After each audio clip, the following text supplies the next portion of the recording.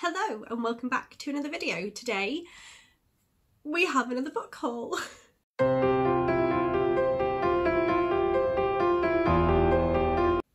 After promising myself that I would stop buying books, I bought lots more books.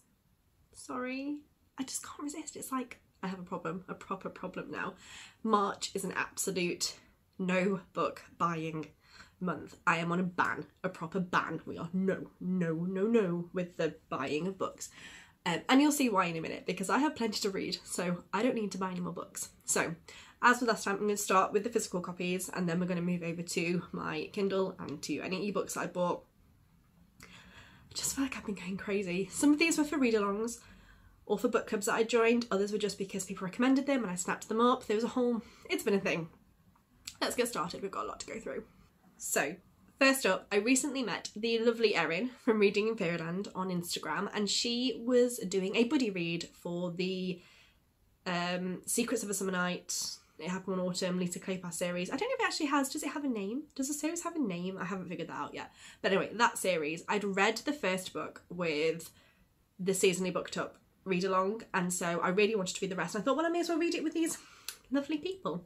So I had to go and buy book number well, number two, obviously. Um, it happened one autumn. And I really wanted to try and get the paper copy for Secrets of Summer Night because I really enjoyed it on my Kindle. But the particular bookseller I was on didn't have that one, but they did have it. Happened one autumn. And it arrived and it looks like this. And I was ridiculously excited to find this is actually a first edition.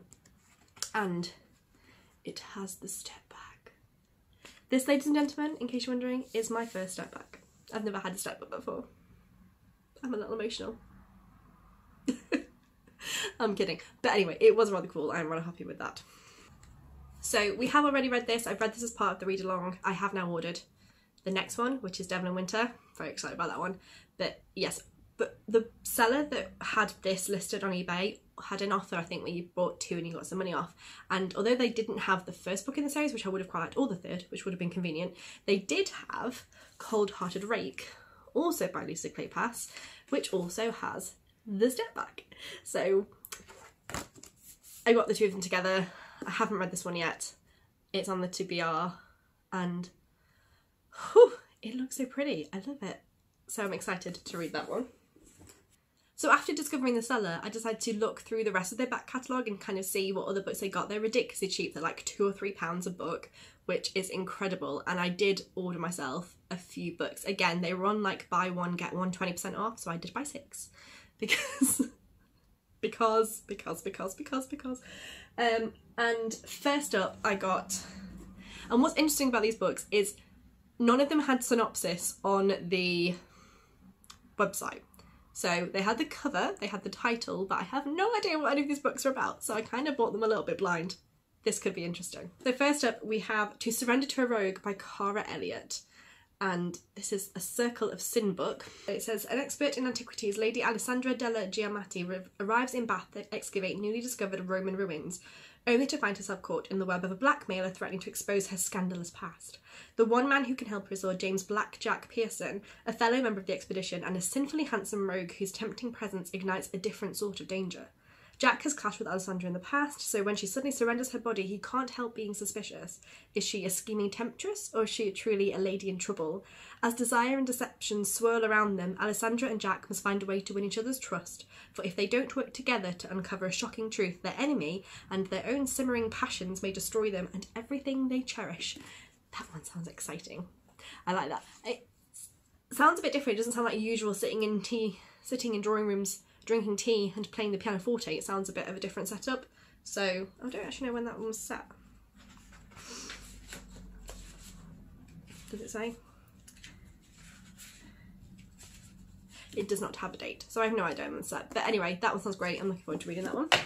Next up from the same eBay seller is My Wicked Marquess by Gaelen Foley. I do have at least one book by Gaelen Foley up in my collection and from what I remember they're more kind of in depth they're not just kind of very kind of easy to read just you know your usual kind of just like solid romance novel. They usually have more going for them. They're a bit kind of grittier.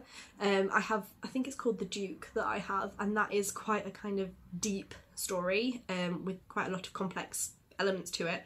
So I'll be interested to how this one turns out.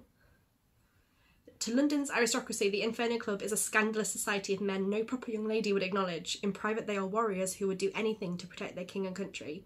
The Marquis of Rotherstone has decided it's time to restore the family's good name, but as a member of the Inferno Club, he knows there is only one way to redeem himself in society's eyes marry a lady of impeccable beauty and breeding whose reputation is, above all, spotless. Someone quite unlike Daphne Starling. True, she's temptingly lovely, but a jilted suitor has nearly ruined her reputation. I hate when that happens. Why should the jilted suitor ruin her reputation? Sucks. Anyway, I digress. Still, Max cannot resist her allure or the challenge of proving London's gossips wrong. He would do anything to win her hand and show that even a wicked Marquess can make a perfect husband. I like the sound of that one. That sounds exactly my kind of book. Oh, I do like it when I pick good books just from the cover. I do like it. So then, completely different style, I picked up this one, which is Desire Unchained by Larissa. I have no idea how you pronounce that. Is it Ione? Ione? Sorry, sorry. I will do some research. I have no idea. I believe this is book two. Maybe book three. I feel this isn't the first book in the series, so I need to do a bit of research to see if I need to read the series in order. This sounds paranormal romancy, and we all know I love a good paranormal romance. Kresley Cole is my queen of paranormal romance, but I am willing to branch out and find some new ones. I was like Gena Showalter as well. This one says Runa Wagner never meant to fall in love with the sexy stranger, but she couldn't resist the unbelievable passion that burned between them, a passion that died when she discovered his betrayal and found herself forever changed. Now, determined to make Shade pay for the transformation that haunts her, Runa searches for him, but ends up prisoner to his darkest enemy. A Seminus demon with a love curse that threatens him with eternal torment, Shade hoped he'd seen the last of Runa and her irresistible charm. But when he wakes up in a dank dungeon chained next to a mysteriously powerful Runa, he realizes that her effect on him is more dangerous than ever. As they capture cast a spell that bonds them as life mates, Shade and Runa must fight for their lives and their hearts, or succumb to a madman's evil plan. I mean, you had me at a love curse and eternal torment. You just yes, yes, sold. Like I said, I need to find out if I need to read the first book first, but if not, I'm getting stuck into that one. And then I couldn't resist going back to my roots a bit and picking up some just really bog standard Mills and Boon style historical romance, which is kind of where I grew up reading romance. These were my babies. These were what led me to this historical romance, romance fascination. And I couldn't resist them. So we have Hers to Desire, which looks like a kind of knightsy, kind of more medieval romance. And it says, from the moment they met, Lady Beatrice yearned for brooding Sir Ranulph de Beauvieux, but tainted as the daughter of a traitorous nobleman, marriage seemed impossible. Unlike to secure the match of her dreams for a lifetime, the spirited young maiden would get her man for one passionate night. Ranulph never believed he'd marry until he met the vivacious Bee. Sent by his liege lord to take command of a castle in Cornwall, Ranulph was surprised beyond belief when the virtuous Bee suddenly arrived intent on seduction. Would desire or honour triumph in this game of love?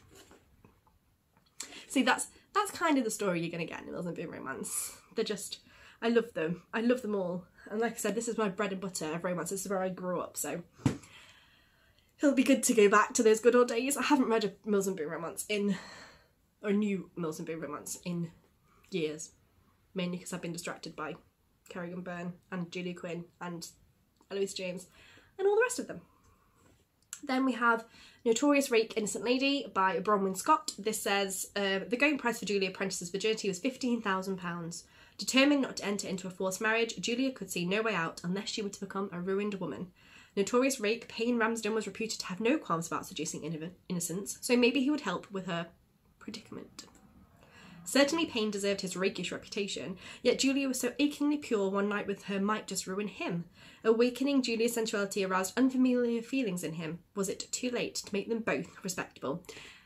Oh, I love that kind of plot. I love I love the getting out of an arranged marriage by ruining yourself. That's always a lot of fun. I love when the rake gets won over by someone's innocence and by their purity and you know, someone he's so used to being seduced by more experienced women and then he meets someone who isn't experienced but they completely went oh yes yes please oh So many good books to read. And then the last one was In the Master's Bed by Blythe Gifford. I mean, look at the cover. Look at it. This is the kind of book that I cannot read in front of my children because Poppy will go, Oh yeah, what's that book about? um why are they naked? He would teach her about sensuality. Wow, I really appear to have picked a brand this time round. I've picked a theme, apparently.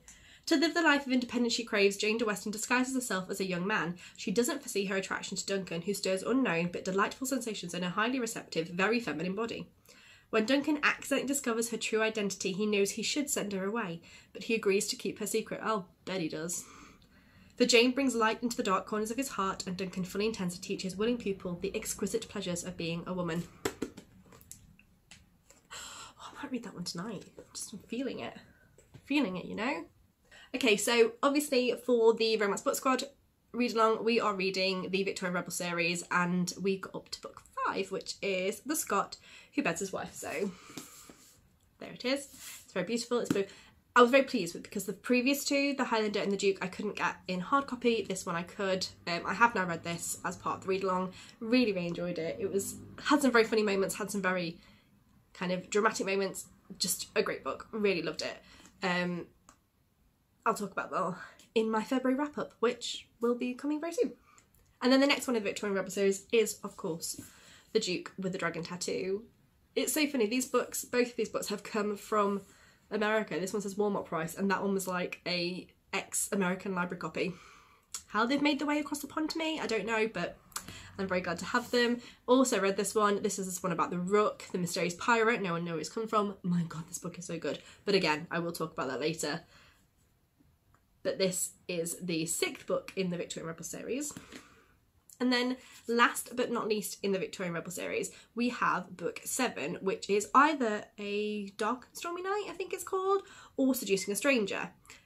Now, I have a massive bone to pick with Amazon and Amazon sellers for this particular book because I have this book on Kindle Unlimited. Um, so I don't need to buy it. But on Amazon, I saw the original A Dark and Stormy Night cover being sold and I thought I'd really like that cover because it goes with the others and it all fits in very well. So I'm going to order it and buy it. And this turned up. This is not the cover. That was, it's the same book, I should just point out. It is exactly the same book, I presume. Um, it's just they rebranded it as the first of the Good Girls series because it's kind of like a almost like a spin-off series. But if you put a cover of one book on, whatever the text is inside the book, if you put a specific cover as a photograph, not even, this wasn't even like just a standard stock image. This was actually a photograph of the book because it was the back as well. And it's not the book you actually send me. That's annoying. I mean, I'm going to keep it because now I have the first of the Good Girl series and I was going to buy the rest of them anyway. So I now have it. But I, I was annoyed. I was annoyed at this. That, that hacked me off immensely. So Amazon sellers, Amazon Marketplace, I can't remember exactly. I think it's the book, just book depository. No, no, Black Cross, Black Mark. Not not happy about that. Um, but it is Seducing a Stranger. It is a really good book. It's Carlton Morley's story, The Inspector. You've seen him in all the other stories. Um, I really enjoyed it. I'm looking forward to reading it again. But it's not the one I ordered. so I'm nearly done with my hard copy, physical copies of books. Next up, for the Rake Appreciation Society, we were reading the Sarah MacLean Scandals and Scoundrels series, which starts with A Rogue Not Taken, and then A Scot in the Dark, and then The Day of the Duchess. So, I bought book one a while ago, and that was one cover. It was the British cover, the girl on the front, quite kind of gothicy looking. So I went looking for book two.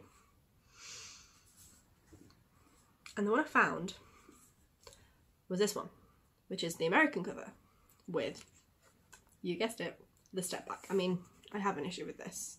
We may have to see if we can get rid of that. But this is The Scot in the Dark. So I ordered that. But now I'm annoyed because now I have one book in one cover and one book in the other. And that would probably have bothered me less six months ago. But now that I've been introduced to your crazy book community people, this is the kind of thing that bothers me. So I also at the same time ordered book one in the step back version as well. So now I have both of them. So now I have two copies of this book. Two copies, and I liked it, but I wouldn't say it was a own two copies of it book. So I will at some point have to decide whether I'm getting rid of the first copy.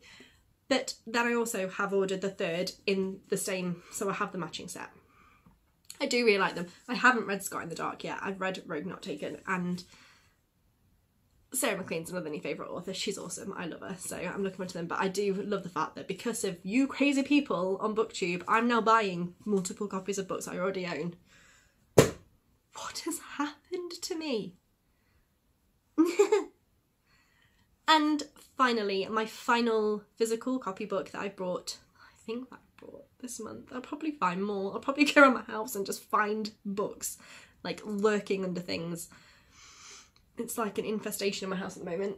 But the last book that I bought that I actually remember is Tessa Dare's Romancing the Duke.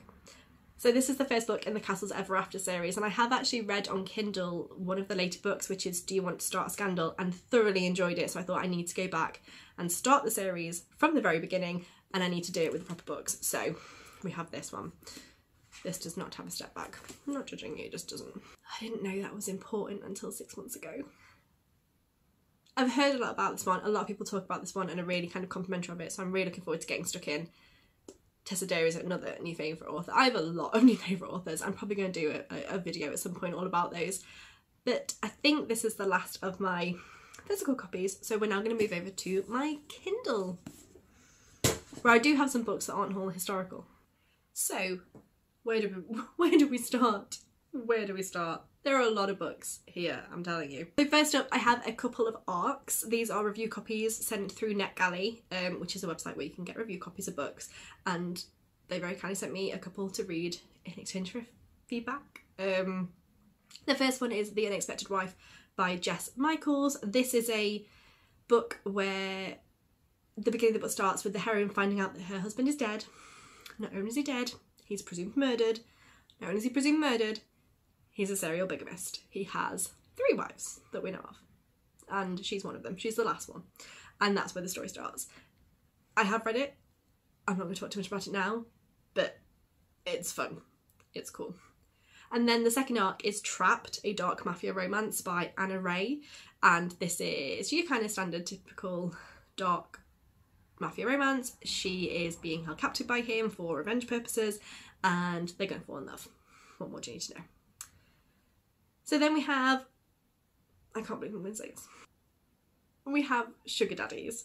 This was recommended to me by Tiffany uh, at Neverland Pixie, not to me personally, but to everybody. She was talking about it on her Instagram, and I find her so fascinating when she's talking about books because she's so kind of, well, she thinks everything through so much, and she's so kind of well spoken when she talks about them, and she really gives an in depth review of them and kind of what the themes are behind it. So I find her fascinating to listen to anyway.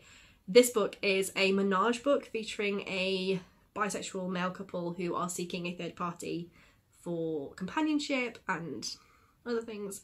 Um, I'm gonna leave it there, but if that's your kind of thing, yeah, you might like that one. So next up, in preparation for a later read along that I'll be doing, I did get a copy of To Steal a Heart by Casey Bateman, which was free. I know nothing about this book yet. This is like, we're reading this in a couple of weeks, I think. And so, but I thought I'd get it now while it's free. I know nothing about it at all, but there you go. It's there. It's historical romance again. I think it's I think it's a spy theme is this time's read along, so I'm assuming it's spy related. Then another two. I don't I don't even know. I couldn't even tell you why I've got these two books. I must have seen them advertised somewhere or seen someone talk about them. But I've got Demise of a Self-Centered Playboy and Lessons from a One Night Stand, both by Piper Rayne. And I think they're both free, and I can't remember who I saw advertising them. It may have been Piper Rayne herself, but I just thought, I'm sure I've read things by her before and really enjoyed them, so I snapped them up while they were free on Kindle. I really recommend keeping your eyes out for free books on Kindle. And then I feel bad because the author doesn't get anything if they're free, but I can at least write about them and review them. So there's that, isn't there? So next up we got another arc. This is A Rogue to Ruin by Darcy Burke.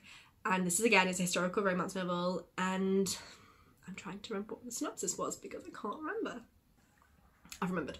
So at the start of this book, uh, our heroine Anne is in a bookshop and she meets a mysterious stranger, and they start hanging out together and spending a bit of time together, unchaperoned, naughty naughty, and from there a romance on ensues. Again, it was an arc. I downloaded it for a review, and I will talk about it properly in my February wrap up later. Next up is another free book. I keep seeing you've got to follow authors on follow join up on their newsletters follow them on instagram follow them on twitter do something because so many of them will occasionally put one or one of their book series for free this is misunderstanding by aubrey bondurant and I've read books by her before, really, really enjoyed them, so I immediately snapped this one up. And if I like it, then I will buy the rest of the series because that is the whole point of reading the first one: is you find out if you like it. So next up we have a couple of books that I'm quite nervous about because some of the themes, maybe themes that I particularly find a bit uncomfortable, and believe me, I don't say that very often at all. But this is the March reads for the Romance Book Squad, and they are reading King of Libertines and Sea of Ruin by Pam Godwin. I've read Pam Godwin's before, they are super dark, they are dark as it gets. It's the kind of stuff that I read going, I can't believe I'm reading this and enjoying it. These books, I think, are slightly different to the stuff I've read before. They're pirate romances, which is super exciting, and they're dark pirate romances, which is even more exciting. But I think there are themes of cheating and kind of different elements around that, and that always makes me a little bit icky in romance. I feel like in romance, particularly, I want my couples to be faithful to each other. That's just, you know, it's a thing. I just I have high expectations, what can I say? So I'm giving it a go. I have spoken to a few people about some spoilers to just check kind of where we're aiming with this book and how it's gonna go. And they've convinced me to give it a go. So we're giving it a go. But I am wary. I think I might do do I do a reading vlog? I don't know. Mm, we'll see. And then last but not least, we have Love is a Rogue by Lenora Bell, which was another another book for another read along. Also, the seasonally booked up the Winter of the Wallflower read along. This book is a kind of gender swapped Beauty and the Beast. Um, it's another Wallflower book. It's about a young woman who wants to write a dictionary and just wants to be left alone to do that. She doesn't consider herself particularly attractive or interesting to the opposite sex. She is distracted by a very, very sexy carpenter who's working on her brother's house and he just fascinates her and she doesn't want to be attracted to him but she totally is and they kind of end up spending more time together and blah blah blah blah, blah. there's romance as you'd expect again not going to say too much about that one right now but i think that is all the books i bought since the last time i did a book haul which really wasn't that long ago. I need to stop. Somebody stop me. Um but yeah. So as you can see I have an awful lot to read in March, which is why we'll be doing a March no book buying ban. Mm-mm.